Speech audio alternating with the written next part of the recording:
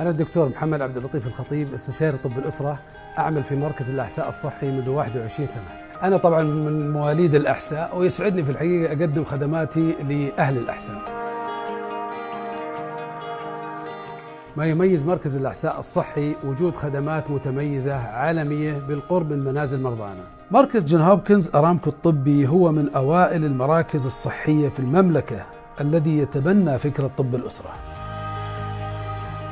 بالإضافة إلى عيادات الرعاية الصحية الأولية وعيادات طب الأسرة يوجد لدينا عيادات تخصصية يعمل بها أخصائيين واستشاريين بكفاءات عالية.